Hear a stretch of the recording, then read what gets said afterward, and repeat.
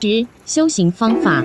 对于一般信众提倡的修行方式是行善积德、济物利人、学习教仪、咏诵经典、礼拜忏悔等。练气之类的修行方式都需要有正统师承，一般人自己练容易出偏，因此不提倡。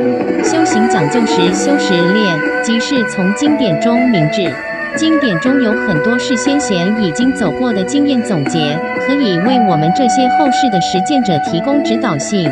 从行为上实践，当将经典中提及到的理论付诸实行检验。这种实践囊瓜的面是很广的，包括持诵经文、克服己心、修养自身、以善心待人、举善行、言善语等等。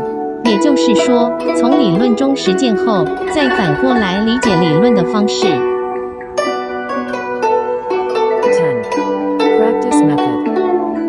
Practice methods advocated by ordinary believers are doing good deeds and accumulating virtue, benefiting others, learning ordinances, chanting scriptures, worshiping and confessing, etc. Practice methods such as chi refining require orthodox masters, and ordinary people tend to go astray when practicing by themselves, so they are not advocated. Practicing pays attention to practical practice, that is, to be wise from the scriptures.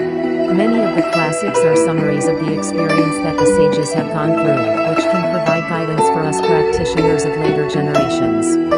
From the practice of behavior, when the theories mentioned in the classics are put into practice and tested, this kind of practice covers a wide range, including reciting scriptures, overcoming self consciousness, self cultivation, treating others with kindness, doing good deeds, speaking kind words, etc.